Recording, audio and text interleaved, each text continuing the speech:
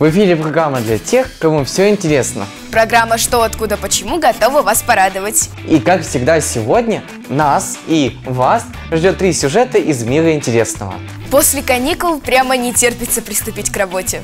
Ой, работа – это когда снег лопатами убираешь вокруг дома, а вести передачу – это одно удовольствие, а точнее три. Анонс «Шифровка». Творец дендритов. Иглу в Швеции. Неведома зверушка. Ну вот, даже разминки никакой нет. Сразу сложный анонс. Ой, ну ничего, зато быстрее придем в форму, а то за время каникул уже и думать разучились. Дендриты, это... А что это? Ну, я не знаю, но похоже на э, дендрарий или дендропарк. Он у нас в городе, кстати, есть. Это место, где выращивают разные растения, а дендриты – это, наверное, деревья. Скорее всего. Значит, э, творец дендритов – это тот, кто их сажает. Или высаживает саженцы, агроном, может быть, садовод.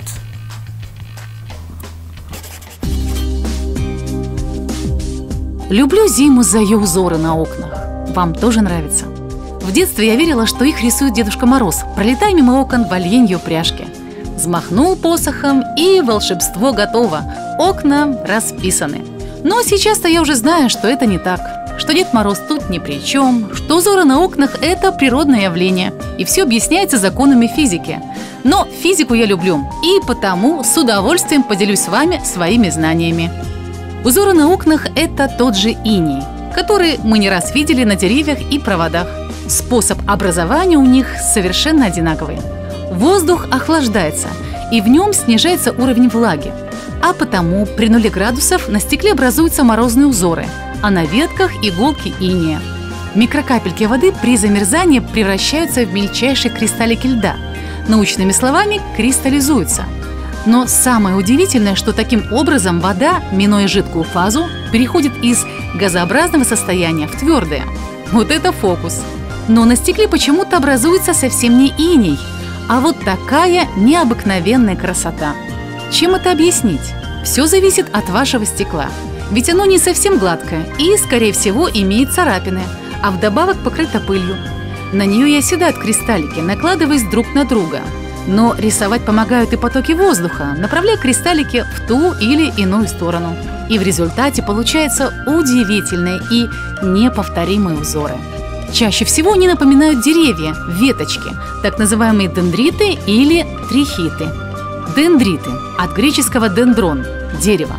Образуются они, если влажность воздуха повышена, а охлаждение стекла началось еще при плюсовой температуре, но потом она понизилась. В этом случае на стекле сначала образуется водяная пленка, которая при замерзании кристаллизуется в виде дендритов. Обычно в нижней части стекла под воздействием силы тяжести воды скапливается больше, и потому дендриты тут более крупные.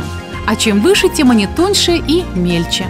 Если же стекло при охлаждении увлажняется равномерно, покрываясь более-менее ровной пленкой воды, то ветки дендритов примерно одинаковы по величине по всей поверхности стекла. А в случае, когда на стекле есть царапины, на их острых краях образуется второй вид узора – трихиты, от греческого «волос». Сначала образуются узкие параллельные кристаллические полоски. Потом вырисовываются волокна, отходящие от основного стебля. Чаще всего и стебель, и волокна не прямые, а слегка изогнутые. На рисунок влияет и движение воздуха. В помещении двигаются люди, работает вытяжка, окна открываются для проветривания, есть щели в рамах. Сочетание всех этих факторов и формирует неповторимый морозный узор. Но если у вас окна из стеклопакетов, то волшебного узора зимой вы на них не увидите. Почему? Из-за отсутствия щелей. Но исправить ситуацию можно. Нет, портить окна мы не будем. Лучше возьмем в руки краски и кисточки и сами распишем оконные стекла. Делать это стоит акварельными красками или слегка разбавленной белой зубной пастой. И чудесные узоры на ваших окнах украсят зимний город и поднимут всем настроение. Но в первую очередь вам.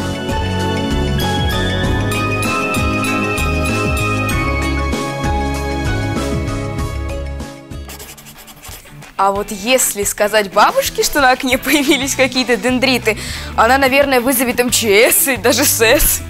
А я вот в интернете узнал, что дендриты это не только кристаллы на окнах. Например, дендриты содержатся в батарейках. Собственно говоря, поэтому они и портятся. Также дендриты содержатся в нервной системе человека. А дендриты это разветвленный отросток нейрона, который получает информацию через химические или электрические синапсы от аксонов или дендритов из совы других нейронов и передает ее через электрический сигнал телу нейрона. Нейроны, аксоны. Для расшифровки этих слов нужно приглашать академика наук. Ну, любопытные разберутся сами, но главное, что мы поняли, э, дендриты имеют форму дерева, верно? Верно. Э, второй анонс.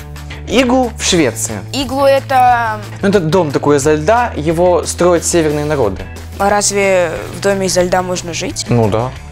А я когда в детстве читала книжку про домик глубиной, домик ледяной, думала, что это фольклор, а это, оказывается, из жизни взяли. А, но все равно, как можно жить в доме изо льда, я не понимаю. Можно, когда вокруг намного холоднее, то в таком домике уютном можно и согреться. Иглу в Швеции. Стоп, а разве в Швеции холодно? Не знаю, я там не был, но, насколько я знаю, в Скандинавии довольно-таки прохладный климат, особенно на севере региона. На дворе зима. В такую погоду так и хочется на мягком диване завернуться в уютный пледик с чашкой горячего чая. Но не всем. Кого-то тянет вот в такие своеобразные апартаменты. Ледяные отели можно встретить во многих странах мира – Норвегии, Финляндии, Румынии и Канаде. Правда, без термоса с горячим чаем тут никак не обойдешься. Но если серьезно, зачем нужен такой отель? Возможно, его придумал какой-то экономный предприниматель? Ведь на постройку, кроме снега и льда, никаких материалов не требуется, и топить не надо. Но раз такой отель существует, значит, это кому-нибудь нужно? Ну конечно, на свете есть уйма людей, которым нравится такая холодная красота. Это настоящие фанаты холодного безмолвия. Невольно вспоминается сказка про снежную королеву. Таким, видимо, и был замок, в котором она прятала Кая. Здесь в полной мере раскрывается экзотика севера. Ледяные помосты, застеленные шкурами, чем не кровать. Ледяная мебель, ледяные картины и статуи. Средняя температура в номере отеля «Иглу» около минус 4 градусов по Цельсию. Оформление иглу очень скромное. Никаких телевизоров, радио и интернета. И тем более отопления. Но гостей от этого не меньше. Работают отели лишь на протяжении сезона холодов, а недолговечность придает им особый шарм и уникальность. Самым первым из подобных горячих местечек стал ледяной отель в Швеции, в деревеньке Юкасьярви, все началось с выставки ледяных скульптур, организованной в 1989 году японскими художниками. А несколько туристов даже переночевали в выставочном зале и стали первыми посетителями будущей гостиницы. Сегодня Ice Hotel — это около 60 номеров из снега, а это 5,5 тысяч квадратных метров — и уже 25 лет над его возведением и неповторимыми интерьерами каждый год трудятся лучшие художники мира. На строительство ледяного замка ежегодно уходит тысяча тонн льда из реки Торн и 30 тысяч тонн так называемого снайса – смеси льда и снега, которая гарантирует основательность постройки. Номера в отеле разные. Это может быть как простая снежная комната, так и арт-номера, наполненные ледяными произведениями искусства в самых разных стилях. Для ценителей визуальных эффектов есть комната с северным сиянием, которая проецируется на ледяные стены. И, конечно, не обойтись без специальной подсветки, которая подчеркивает сияние льда. К своей работе скульпторы приступают в январе, учитывая последние веяния моды. Однако температура воздуха внутри помещения составляет от минус 5 до минус 8 градусов. К счастью, в отеле есть утренняя сауна и теплые спальные мешки. Но в наших краях даже на улице намного теплее, чем в этом ледяном отеле. Но спать на морозе никому и в голову не придет. И это понятно. Антураж не тот. Ой, теперь полчаса согреваться. От сюжета к сюжету мороз усиливается. Нос краснеет, руки коченеют. Сейчас нас погрузят в ледяную прорубь. Ай, рано еще.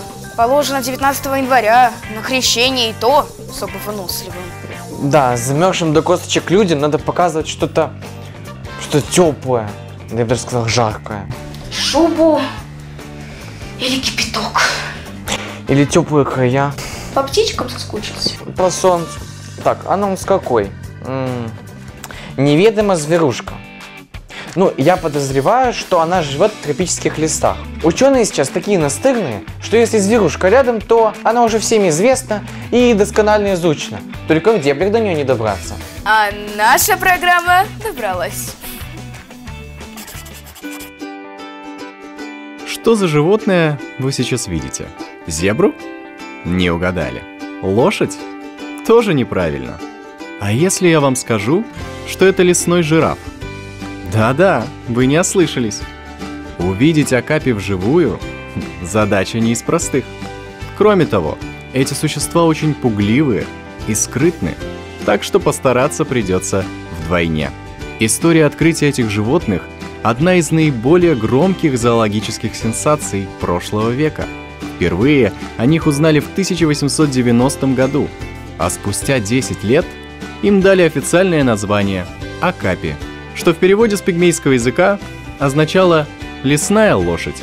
Но при чем тут жираф, спросите вы? Чулки-то в полоску, как у зебры. А вы присмотритесь повнимательнее. У Акапи вытянутая морда, имеются небольшие рожки и очень длинный синий язык. Почти 35 сантиметров. Как и жирафы, Акапи им ухаживают за собой. А еще сдирают им с деревьев листву. Правда, шее им повезло меньше, а значит приходится есть то, что растет пониже. Травы, папоротники, грибы и фрукты.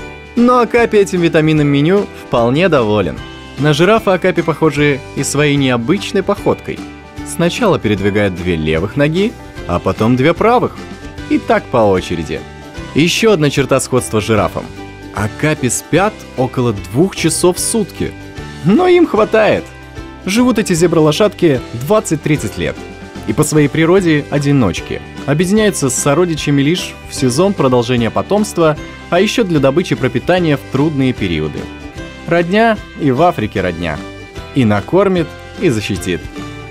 Основная проблема лесного жирафа – это огромный риск попасть в лапы своего главного врага – леопарда. А потому у Акапи хорошо развит слух. Это позволяет животному вовремя реагировать на приближающуюся опасность. При двух метрах в длину и полутора метрах в высоту вес Акапи может достигать аж 250 килограмм. Настоящий тяжеловес. Однако при встрече с человеком он тотчас убежит. Но не факт, что в другую сторону. Так что лучше быть начеку и вовремя свернуть с пути бегущего животного. Голосовых связок у Акапи нет. Звуки они издают за счет выдыхаемого воздуха и умудряются общаться друг с другом очень деликатно. С помощью посвистывания, мычания и покашливания. В трехлетнем возрасте Акапи уходят от матери и живут самостоятельно. Хорошо, что рядышком. Все лесные лошади обитают исключительно в одном месте – на территории Республики Конго. Селятся они поблизости от водоемов, в труднопроходимых тропических лесах, полных сочной зелени. Как видите, порой природа создает по-настоящему удивительных существ. И это одно из них. Кто бы мог подумать, что на протяжении многих веков Ати, как называли его местные, скрывался от взглядов всего мира. К сожалению, открытие имеет и негативные стороны. Из-за жестокости человека в настоящее время лесной жираф внесен в ряд животных, которые находятся под угрозой уничтожения.